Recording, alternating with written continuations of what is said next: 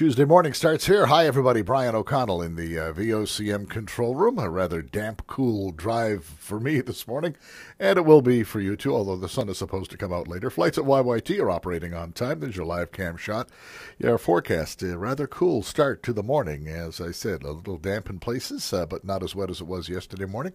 We'll update the full forecast. Claudette will have that for you coming up here shortly from uh, the UK last night, a uh, bomb explosion at a, a, concert there. We'll follow that story for you this morning. And that whale on the beach in Outer Cove is uh, causing uh, a lot of attention for people in the area. Some of the stories we're following for you at uh, VOCM, VOCM.com. Fred Hutton will be here at 5.30. He'll update those, and we'll do that throughout the morning here on 590 VOCM. Of course, Claudette Paul and Andrew Hawthorne all joining us this morning. Part of uh, my commute down Kenmount Road. Hey, we're going to start the show at 5.30. Why don't you join us?